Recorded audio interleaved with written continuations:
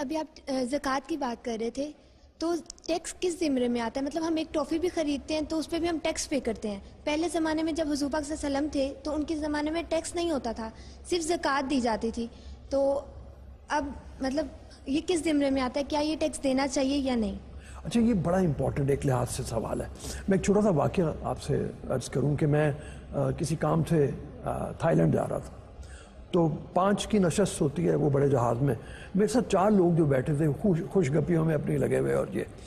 तो आ, और साथ ही वो खूब पाकिस्तान को और सियासतदानों को और सबको गालियाँ निकाल रहे हैं। तो फिर एक ने पहचान लिया और मुझे कहा कि जी आप तो जानते हैं तो ये फरमाइए कि ये पाकिस्तान को क्या हो गया है। तो मैंने उनसे कहा कि आप किस काम से जा रहे हैं? उन्होंने कहा कि हम बिजनेसमैन हैं और हम कुछ तफरी के लिए जा रहे हैं। तो मैंने कहा बिजनेसमैन हैं तो आप टैक्स देते हैं? तो उन्होंने कहा, नहीं टैक्स नहीं हम देते हम जक़ात देते हैं। तो मैंने कहा, अगर आप टैक्स नहीं देते तो आपको तो पाकिस्तान के खिलाफ बोलने का हक ही नहीं है। ये बहुत कन्फ्यूज़न लोगों के जहनों में पैदा हुई हुई है। और बाद लोग ऐसे भी हैं जो ये कहते हैं कि हम जक़ात इसलिए नहीं देते कि जब ज़बरदस्ती हुकूमत हमसे टैक्स ले लेती है तो फिर जक़ात का क्या मतलब है? जो हमारे यहाँ निज़ाम हुकूमत राइज है ये अंग्रेज़ का छोड़ा हुआ निज़ाम है। अंग्रेज़ के यहाँ ज़क़़त का कोई कॉन्सेप्ट नहीं है। उन्होंने हुकूमती अखराज पूरे करने के लिए मुख्तलिफ़ किस्म के टैक्स लेवी करने शुरू कर दिए थे। हमने उनके निज़ाम को एज इट इज़ कैरी किया, लिया है।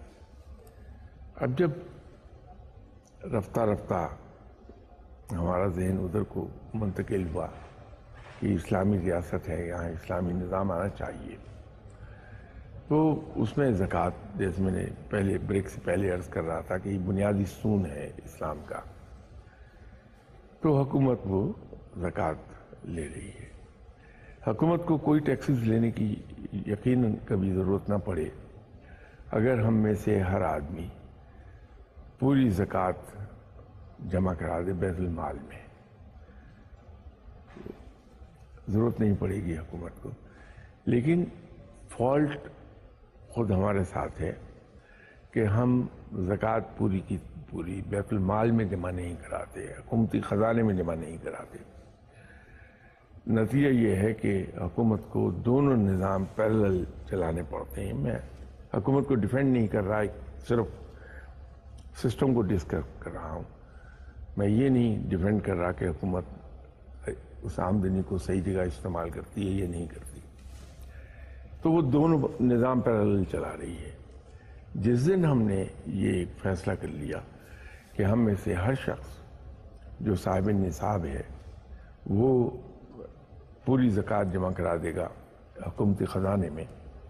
तो यकीन कीजिए कि टैक्सेस की ज़रूरत रहेगी नहीं।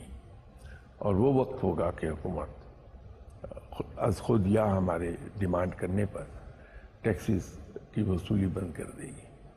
लेकिन शर्त यह है बुनियादी स्टार्टिंग पॉइंट वही है कि हम खुद पूरी ज़क़़त देना शुरू कर दें।